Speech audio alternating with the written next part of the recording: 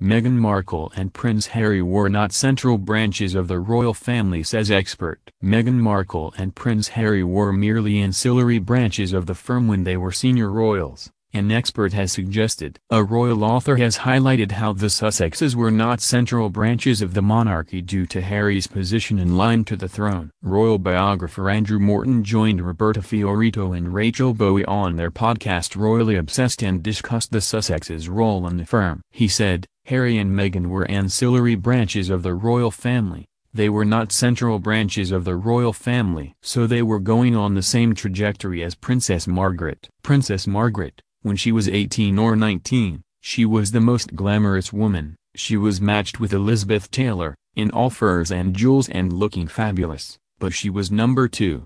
Meghan Markle under pressure as new bombshell Piers Morgan interview to air. Meghan Markle faces further criticism from Piers Morgan in the coming days as he gives his first TV interview since quitting GMB. The outspoken journalist will chat to U.S. TV host Tucker Carlson on Monday for his video podcast on Fox Nation. The interview will last for one hour and will air at 4 p.m. ET on Monday. 8 p.m. GMT. Mr. Morgan is expected to discuss his recent career change, having quit Good Morning Britain, GMB, last month over his criticism of Meghan Markle. The Duchess of Sussex has repeatedly come under fire from the outspoken journalist, with his criticism of the royal reaching a fever pitch last month. Mr. Morgan ended up quitting GMB over his staunch opposition to the Duchess where he said he didn't believe a word she said in her sit-down interview with Oprah Winfrey. The broadcaster even dismissed Meghan's claim she felt suicidal. Mental health charity Mind said it was disappointed by his comments and Ofcom launched an investigation into the matter after receiving over 41,000 complaints. Meghan even complained to ITV and Ofcom herself